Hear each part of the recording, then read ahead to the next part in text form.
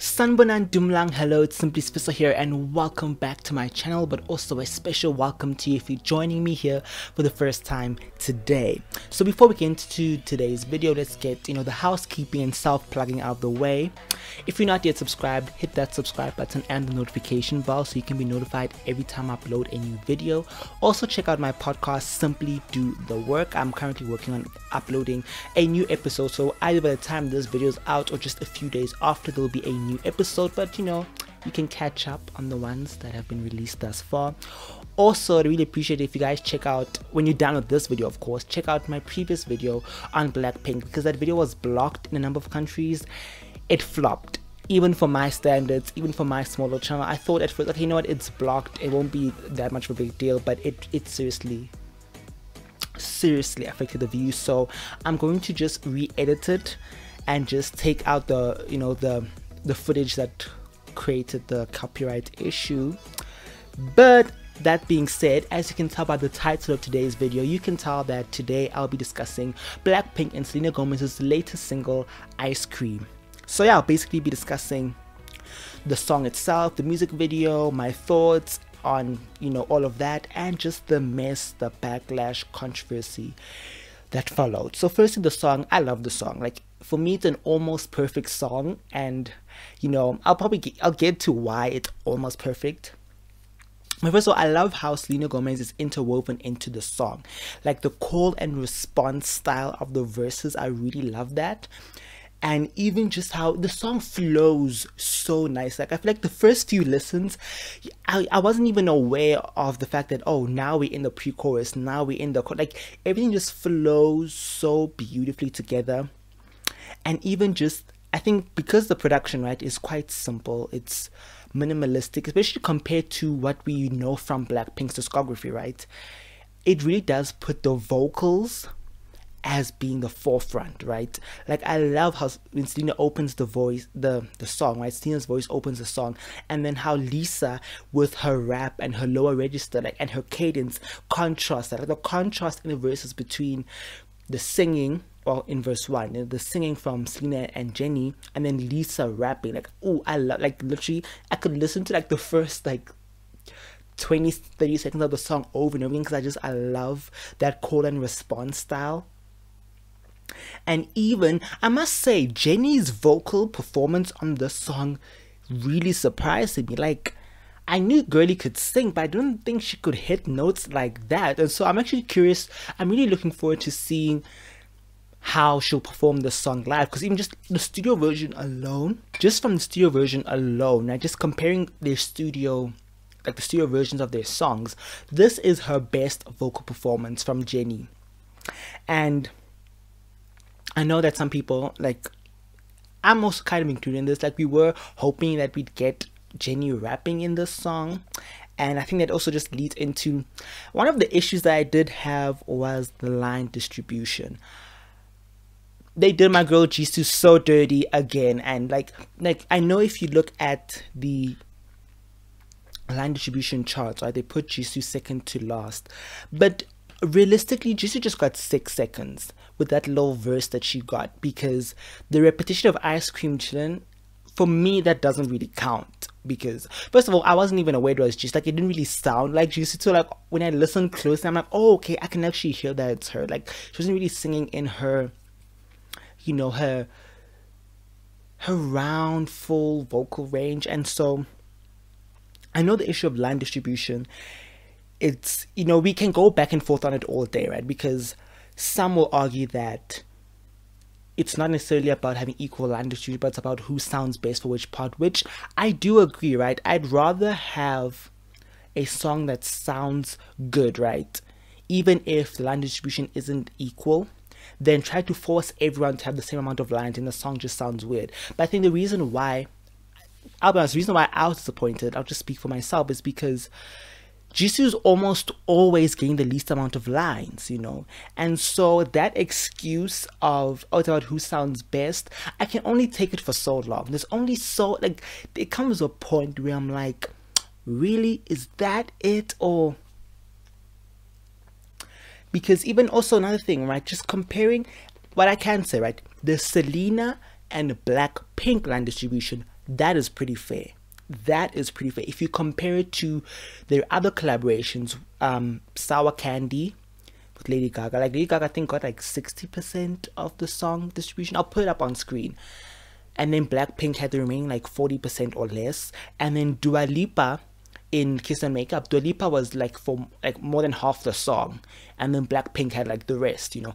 And so because it actually makes sense that because now this is a Blackpink with with Selena Gomez, it makes sense that Blackpink will have more lines. I actually realized that I think because of how the song is presented to us, you, you you'd actually think Selena has more lines. I was actually shook. I'm like, oh my gosh, Selena, you only had like 25% of the song, but because of how she really was a part of the song, like when you're listening to it, I think it also shows that even with the behind the scenes, right? Because I think a lot of times when a K-pop artist and a Western artist collab, it'll be a thing of the Western artist will just come do their verse and they're out, or they'll sing some cute lines in the chorus, you know. And sometimes it works. Like I will agree. Like I'm both love um BTS and Halsey. Like I remember at first I was a little like, wow, like Halsey sing so few lines, but still at the same time, I'm like, but you know what? But it works. Like, you know, how these vocals sound really nice on that song. In contrast to like with Idol, like I feel like with Idol, like Nicki Minaj, she just comes on, does her thing, and she's out, like peace, you know. I think that's also that that is also why like there's like a difference between like when you say a song is with an artist and a song is featuring. Because I think usually when it's a feature, you find that the song is mostly done and then you just come in do what you gotta do and you bounce you're out you know whereas it's worth it's more of a collaborative effort and that shows it shows in the work you know i feel like there are some features where it's credited as featured but then you can see okay no but like they work well together like oh bts and i don't is it pronounced love Love, like L A U V. I don't know how you pronounce his name. Their song "Who" I discovered like the other day. It sounds so good, but this isn't a BTS video. bringing it back to ice cream. And so i loved it right? And so one of the things that i i believe many fans were concerned about before the release was how is the song going to sound? Because for example, I know Selena Gomez's music, you know, um, I know the type of music that she's made and music of music that, you know, her most recent work, the sound that she's in.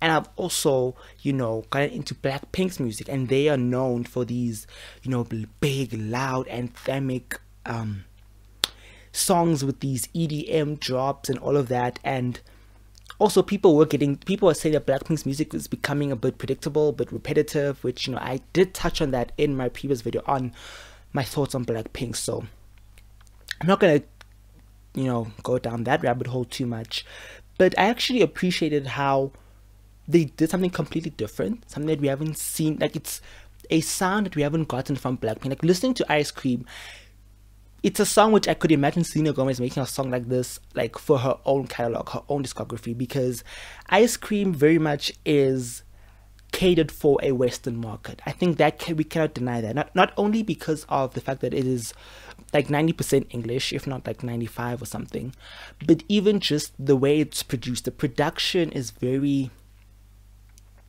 I don't want to say monotone. It's very like the beat doesn't really change throughout the song it's like the same beat, just that they add and they remove certain elements to also, you know, give it some color. I think even the fact that you've got five different voices on the song, that also what helps give it a little bit more color. And so you could tell that this this ice cream was literally made to become a hit in the US and the rest of the world. Like I can say I can confidently say that this song was not like it's not for the Korean demographic. Like they, that's not the demographic they have in mind. Obviously, because Blackpink has fans in Korea and you know other parts of Asia, those fans will eat it up, right? You know, you know Blackpink fans because it's a Blackpink song, and you know if you stand Blackpink since way in the beginning, then power to you because you've been going through so many droughts. So I can imagine you're just gonna eat this song up. I can understand when people you know, um, like K-pop fans don't consider this song K-pop because I do think it's not a K-pop song, um, and I think it's not because of the language because I actually had an a um, conversation with a friend, and he was saying he wishes there was more Korean because now it's not a K-pop song. And I'm like, I don't think it's just the language. I think K-pop is more than just the fact that they sing in Korean. Especially like this is like idol music, right? Because I discussed it in my first video on K-pop, the difference between K-pop and idol music. But anyway, another self plug there. But the production in Ice Cream compared to How You Like That, like How You Like That, I describe it as more, it's a K-pop song with Western influences because it has the loud instruments that we know K-pop for. It has these transitions. I feel like it's another thing I've noticed. K-pop has a lot of like switch ups within the same song. The beat will switch up three to four times, and um, just harmonizing and there's a lot, right? And so this song, Ice Cream, I do not expect it to do well in Korea like I don't mean to say I'm not saying the song will flop, but I just mean that I don't think it'll do as well as How You Like That or D4, you know, other Blackpink songs that did well in Korea because I don't think that was the target market. And I know that for some fans that is an issue. You know, some fans are seeing it as, oh, um, Blackpink is going to leave K-pop to become Western pop acts, which you know what, if they do power to them. Like at the end of the day, Blackpink has reached this level of fame and success that no matter what they do, people will always be mad. Like people, there'll always be some form of backlash. And I think Blackpink is one of the few K-pop acts who actually can like make a US push in a US style or Western style of music. Cause I feel like Blackpink's discography is sprinkled with Western um, influences. It's sprinkled with sort of being like if you listen to other K-pop groups, it's sort of like different. I think that's also why for me, Blackpink became like the first K-pop act that I started to stand because I found because it's their music is so similar to what I already know, it was really it was easier to take in. I think that's why also Blackpink is one of those K-pop groups that I think have a lot of fans who just don't care for K-pop. Like you, you have people who listen to Blackpink, love Blackpink's music, but would not call themselves K-pop stands because they just do not enjoy the sound of K-pop. And that is why I think that K-pop is also it's more than just the language. Because me personally, I would not just I would not check out a K-pop song I would not check out a song just because of the language. Like just because like, oh, this this song is from this country, I'm just gonna check it out. Like it'll be a thing of if maybe of course someone recommends it to me, like, oh, listen to this artist, listen to this style of music, this genre. Have you ever listened to this style of music? Because I saw K-pop as great, I'm like, oh, let me actually listen to it because it is a different sound. I don't think it's just they're not just rapping in Korean, it's making pop music in Korean excuse me, I think one of the reasons why it's also become uh, such a global phenomenon because it is different from what we get from the West. I feel like K-pop is like 110%. It's like go big or go home. And I do see those elements of K-pop in Ice Cream, right? Because you see this is a high budget music video, right? We see that there is choreo involved. But I think that Ice Cream was just packaged in a way to make it more appealing to the US market, to the Western world, not just the US. I feel like uh, I'm trying to unlearn this whole idea that the music industry starts and ends in the US because it doesn't. You know, I think the rise of K pop is showing us that. But I digress. I think, okay, now getting into the mess that followed, right? Okay, first of all, some people, like I did mention, are concerned about Blackpink switching and the whole question of is it K pop? What is K pop? Okay we've touched on that. I feel like how you like that was released specifically to be like the, the korean hit. I feel like how you like that even though yes it did also break worldwide records but i feel like how you like that the rollout and just the sound was made like you know what this is for the k-pop fans.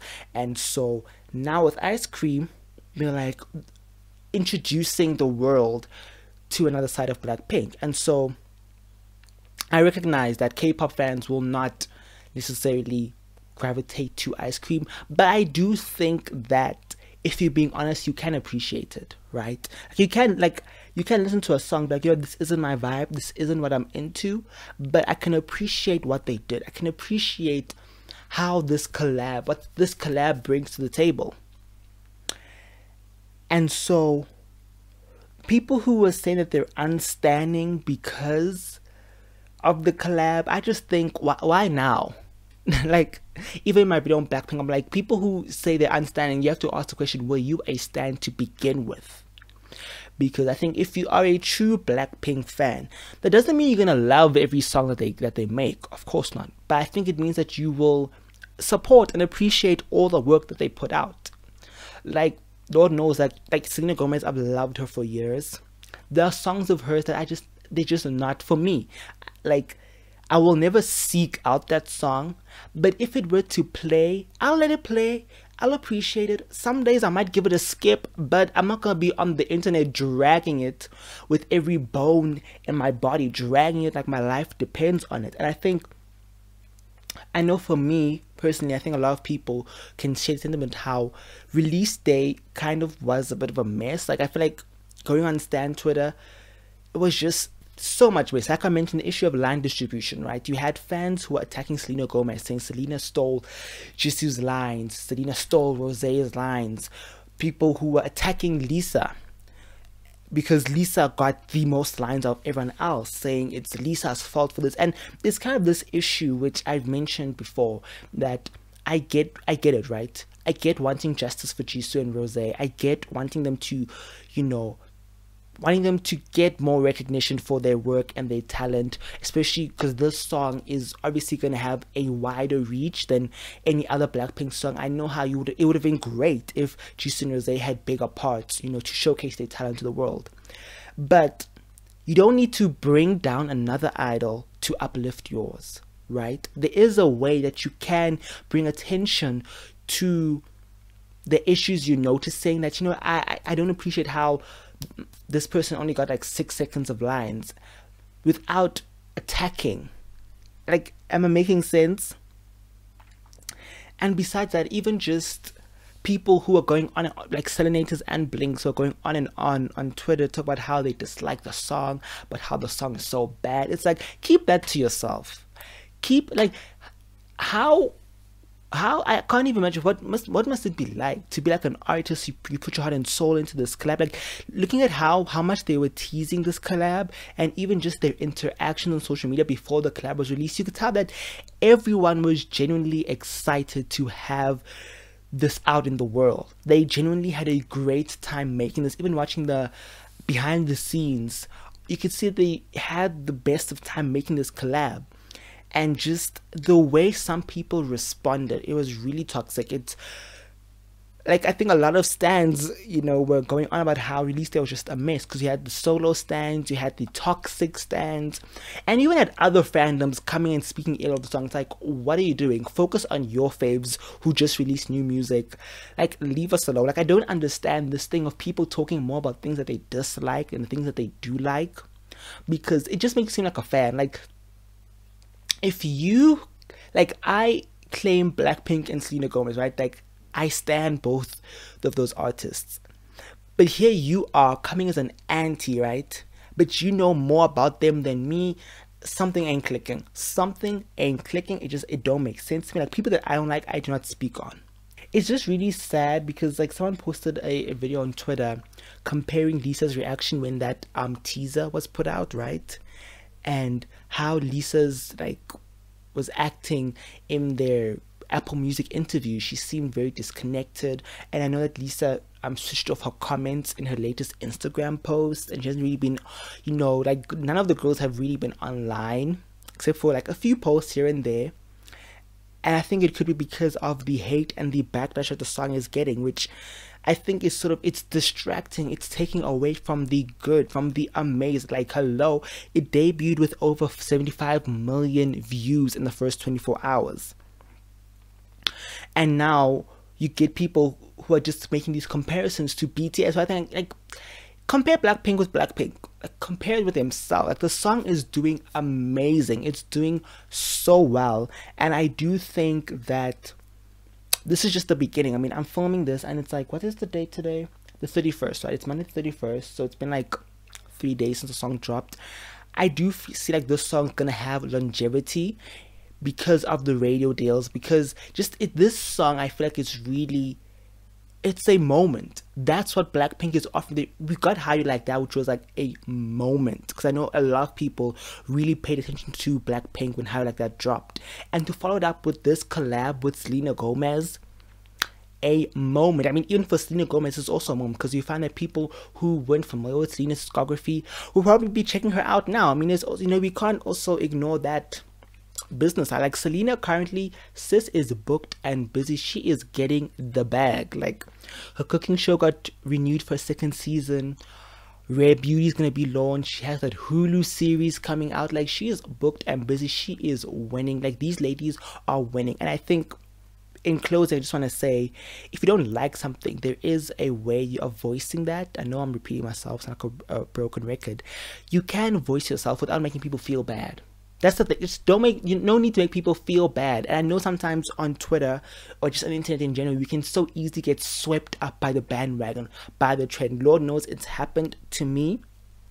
But I think I just want to leave it there because I think I feel like I could just go on and on and on. And I want to make a separate dedicated video on this whole issue of just like hate on social media and just you know and I want to gather my thoughts properly and come and present something that makes sense. That being said, if you enjoyed the video and you made it to this point, please do give it a thumbs up. Also, feel free to leave a comment down below. Let me know what your thoughts are on the song, on, you know, just what the mess in the fandoms, if you are, you know, a stan like me. And until I see you guys in the next one, I love you so much.